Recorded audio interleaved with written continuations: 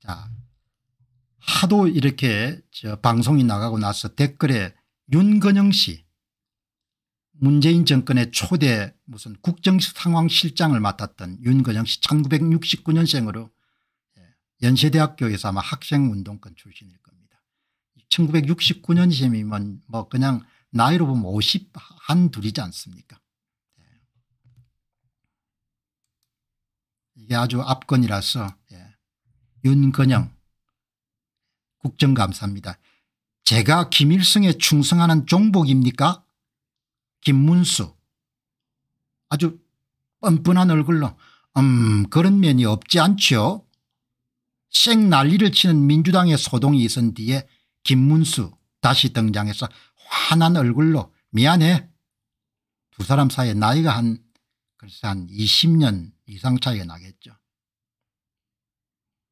병 주고 약 주고 nice 민경욱 의원 페이스북을 오래간만에 방문했더만은 이런 이야기가 나옵니다. 제가 김일성에 충성하는 종북으로 보입니까 김문수 아주 뻔뻔한 얼굴로 음 그런 면이 없지 않지 생 난리를 치는 민주당의 소동이 있은 뒤에 김문수 환한 얼굴로 미안해 아, 예, 윤건영 씨가 국민대학에서 아마 학생운동을 했는 모양입니다. 정정할게요. 예, 연세대학을 나온 게 아니고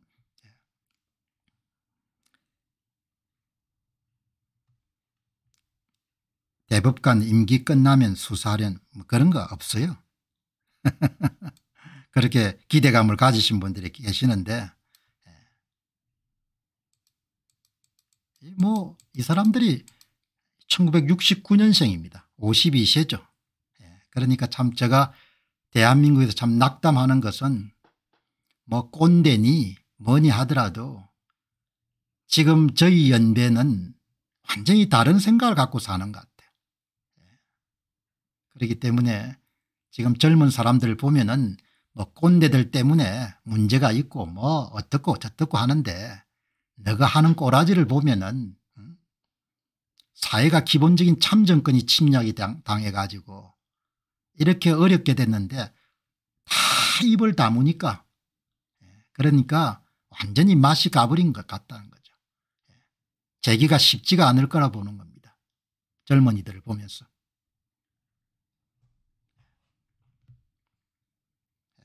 쉰두 살 정도 되지 않습니까 그래서 오래전에 한번 방송했지만 2022년 2020년도 4.15 총선 당시에 구로을 구로을 그림이 이렇게 나오지 않습니까? 이 여러분 한번 보시기 바랍니다. 미래통합당의 김용태 후보의 관내 사전투표 득표율 빼기 당일 득표 득표율이 마이너스 7% 마이너스 13% 이게 무슨 뜻입니까? 관내 사전투표 참가자 수의 7에서 13%의 표를 빼앗겼다는 거 아닙니까? 예를 들면 신도림동 같은 경우는 미래통합당의 김용태 후보가 13.3%까지 빼앗긴 겁니다. 그것이 어떻게 정발했습니까? 고스란히 누구와 함께 이동한 겁니까? 더불어민주당의 윤건영 후보와 함께 이동한 거 아닙니까? 신도림동에서 윤건영 후보가 이런 플러스 몇 프로가 나왔습니까? 15.1%가 나왔지 않습니까? 무소속의 강요식 후보까지 이름들 훔쳐가지고 예? 이렇게 전산 프로그램 이용해 가지고 후보 사이 득표수를 그냥 동레벨로 다 이동을 시킨 거 아닙니까 예? 이동을 시켜 가지고 더불어민주당 윤건영 후보는 플러스 8% 플러스 15% 나오죠. 이런 것은 죽었다 깨도 나올 수 없지 않습니까 수만 명이 이런 투표자에 투표를 하는데 사전투표와 당일투표에 맞게 특정 후보에 대한 지도가 어떻게 이렇게 차이가 납니까 이런 황당한 결과가 나와도 대한민국의 식자청들은 다 침묵하고 대한민국의 검찰 감사원 다 여러분들 뭡니까 대법원 다 헛소리를 하는 겁니다. 이게 나라가 망한 게 아닙니까 이게 나라가 정상입니까 나는 정상이라고 안 봅니다. 공병호만 이렇게 열을 내는 것 같지만 이게 공병호 일이 아니에요.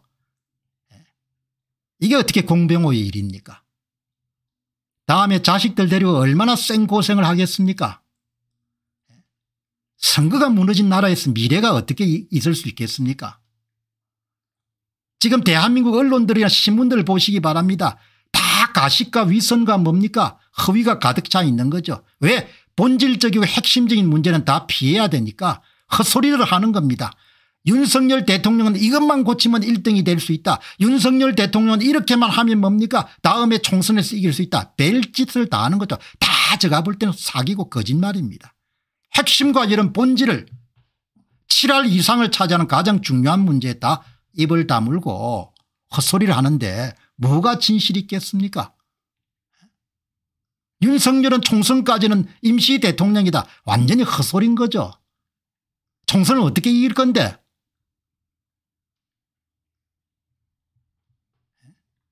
이게 선거냐고 이게? 이게 이런 투표입니까 이런 아름다움이 어떻게 나옵니까?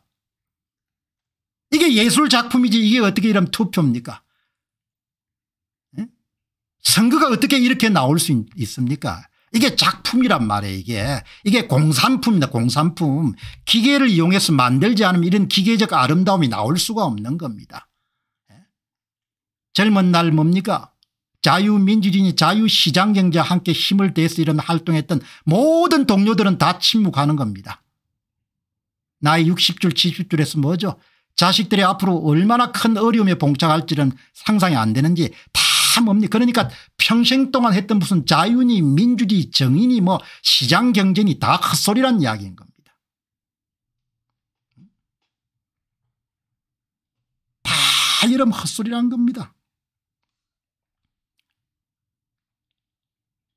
김문수 경사위원장에게 내가 종북으로 보입니까 종북보다 훨씬 심각한 것이 이겁니다. 다들 이렇게 해서 이런 국회의원 배지를 단 거 아닙니까 어? 내가 묻고 싶은 것은 당신들 어떻게 해서 국회의원 됐냐 이야기죠. 아니 공 박사님 저는 이런 거 안 해도 당선될 수 있었는데 제가 모르게 다른 사람들이 이렇게 했네요.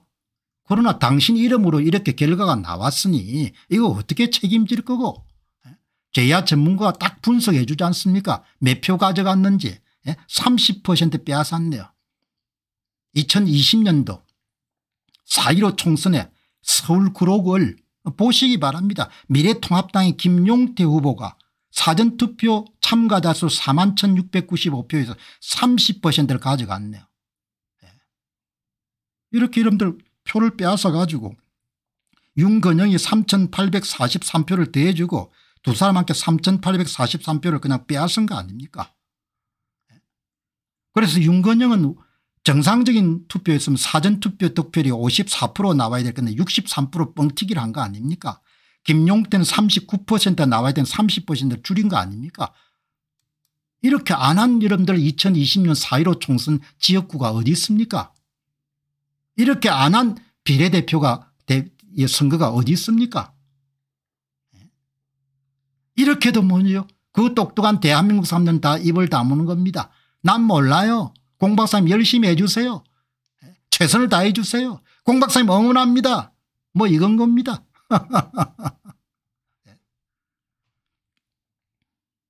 그래서 여러분들 뭐죠 제야 전문가 계산까지 친절해 주지 않습니까 딩동댕 사전투표 참가자 수의 24.8%를 옮겼습니다. 2020년도 4.15 총선 구로구을 윤건영 후보가 출마한 지역에서는 총 사전투표 참가자 수의 24.8%를 훔쳤습니다.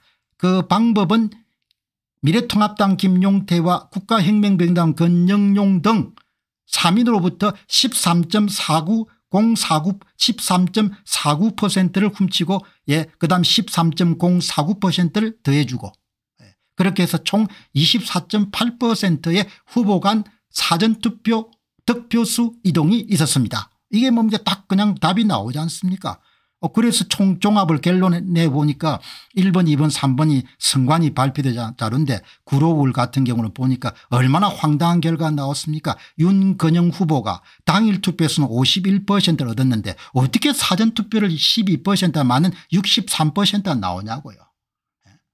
전산 프로그램을 이용해 가지고 표를 쑤셔 넣어줬으니까 이렇게 나오는 겁니다. 뻥튀기가. 정상은 어떻습니까 51% 비슷하게 사전투표 득표율이 나와야 되잖아요. 미래통합당의 김용태 후보는 당일 투표 득표율이 42%인데 사전투표 득표율 30%확 줄어들었습니다. 어떻게 이런 수치가 나옵니까 양심들 다 불량이죠. 그래서 제야 전문가가 30%를 조작한 것을 찾아내 가지고 사전투표 득표수를 다 꽂혀서 진짜 사전투표 득표수를 여러분들 구한 것이 4번이지 않습니까 4번을 딱 구하니까 당일 득표율 이, 이, 이 윤건영 51% 진짜 사전투표 득표율 54% 얼추 비슷하지 않습니까 오차 범위 내에서 나오는 겁니다. 당일과 사전이 이게 정상적인 투표인 거죠. 이렇게 다 선거를 뭡니까 예? 그냥 주물럭거린 거 아닙니까 그 표를 어떻게 뽑았는데 다 이런 나오잖아요. 구로 제1동에 여러분 한번 보시죠. 구로 제1동에 구로 제1동에서 윤건영은 어떻습니까? 당일 득표율이 50%인데 어떻게 사전 득표율이 64% 나옵니까? 11%라 표를 쑤셔 넣어준 거 아닙니까? 미래통합당의 김용태 후보는 구로 1동에서 당일 득표율이 42% 어떻게 사전 득표율이 31% 쪼그라듭니까? 9%를 빼앗은 겁니다. 구로 제2동 구로 제2동 윤건영 후보 당일 득표율 50% 사전 득표율 62% 13%로 격차가 나는 겁니다. 이런 미친 결과를 만들어낸 겁니다. 기계를 사용했으니까 이렇게 나오는 거죠. 김용태 미래통합당 후보 당일 득표율 41% 사전 득표율 32% 예? 격차가 31% 표를 빼앗은 겁니다. 제야 전문가 여러분들 전산 프로그램 조작을 해놓으니까 다 이렇게 뭡니까 딱 그대로 찾아내지 않습니까 동별로 몇 표 훔쳤는지 동별로 몇 표를 훔쳤는지 다 나오잖아요. 이렇게 선거를 해가지고 그러니까 뭡니까 선관위 발표된 자료를 가지고 관내 사전투표 득표율 당일 득표 득표를 구해보니까 이런 그 격차가 나오지 않습니까 그래서 제야 전문가가 여러분들 의심을 갖고 분석해 보니까 30%씩 30%씩 빼앗아가 표를 이동한 거 아니에요. 그래서 총 몇 프로입니까 24.8%를 조작한 거 아닙니까 동별로 몇 표를 훔쳤는지를 보니까 이렇게 동별로 훔친 게 다 구로 1동 구로 2동 뭐 구로 3동 구로 4동 다 나오지 않습니까? 예? 이렇게 여러분들 선거를 치렀는데 뭐 제가 종복입니까? 그런 거 차원이 다르죠. 예, 종복보다 훨씬 더 뭡니까? 나쁜 죄죠 이게. 예, 헌정질서를 완전히 무너뜨린 거죠 민주화를 했다고 여러분들 뭐죠 평생의 훈장으로 삼는 586 세대들이 대한민국이란 나라에 남긴 것이 뭔가 하니까 선거 사기를 남긴 겁니다. 선거 부정을. 그 죄를 어떻게 씻겠습니까 그런데 그 더 큰 죄가 뭡니까 이런 불의에 침묵하는 국민들이 대부분이라는 겁니다. 이런 불의에 대통령도 다 침묵한다는 겁니다.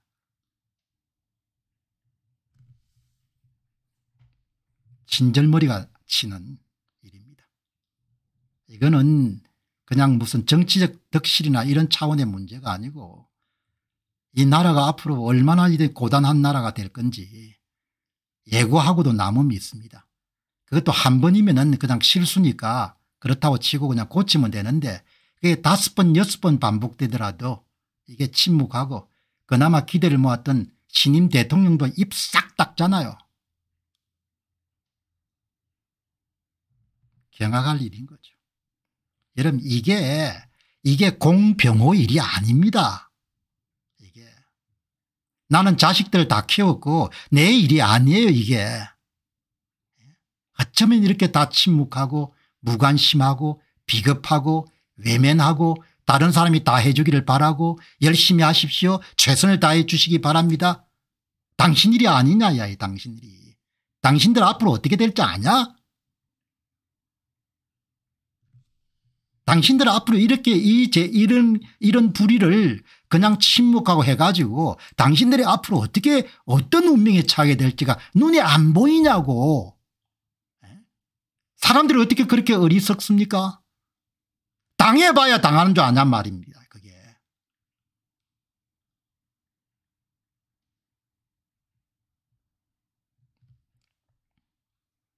체제가 바뀌면 은 어떻게 되는지 알잖아요 문정권 막판에 여러분들 국민들의 기본권이 침해당하고 여러분 그렇게 무시당하는 그런 것을 보면서 그게 예고편인지 안 보이냐고요. 예?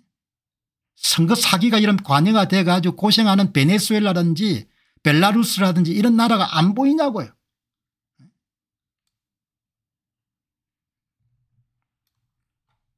정말 두 손 두 발 들었습니다. 나는 이 불의한 사람들하고 함께 같은 하늘에 숨쉬는 것 자체가 때로는 역겹다는 생각이 들어요. 사람이 중요하죠. 출세 중요하고 돈 버는 일도 중요하고 배불리 먹는 것 중요하고 다 중요합니다. 그러나 그 어떤 것보다도 자유를 빼앗기면 모아놓은 재산이고 나발이고 아무것도 필요가 없지 않습니까 문 앞에 공안들이 와가지고 밤새 사람들 낚아챌 수 있는 것이 그게 뭡니까 지금 자유 홍콩 상황이지 않습니까 그렇게 흐리멍텅해가 어떻게 되겠냐 이야기죠. 진짜 역겹다는 생각이 너무 많이 드는 거예요. 어떻게 이렇게 뭡니까 다 역겨운지 말이 안 되는 거죠.